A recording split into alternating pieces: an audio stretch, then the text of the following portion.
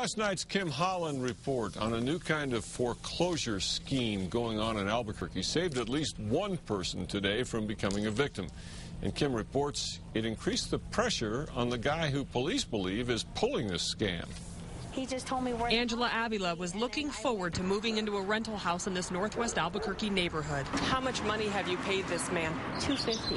And you were supposed to pay him more money today? Yes, um, 400. 400 more? Yes. And you didn't because why? Because after I seen it on the news last night, I decided to come down and do the report, and I knew I was getting scammed. Avila saw our report last night. Three women say Ernest Garcia, who also goes by Ricardo Lombardi, tried to rent homes to them. A half dozen people we know of say they gave Garcia hundreds of dollars for rent or a deposit.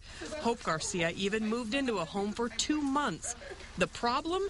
The homes were foreclosed and Ernest Garcia didn't even own them. The back door was wide open, so we looked at it and it was kicked, like he had been kicking the door in to show the house. They're evil. Police almost nabbed Garcia last week. He's accused of showing up and trying to rent a home Justin Ledoux owns. He took off running down Menaul, and they kind of put chase for a little bit, got some license plate numbers. Ledoux called police. It happened right up here on Menaul and 12th Street. And Angela Avila also got police involved when she filed a police report today. I'm just so upset with him, and I hope, I just hope somebody does something about it because he's hurting a lot of families out there.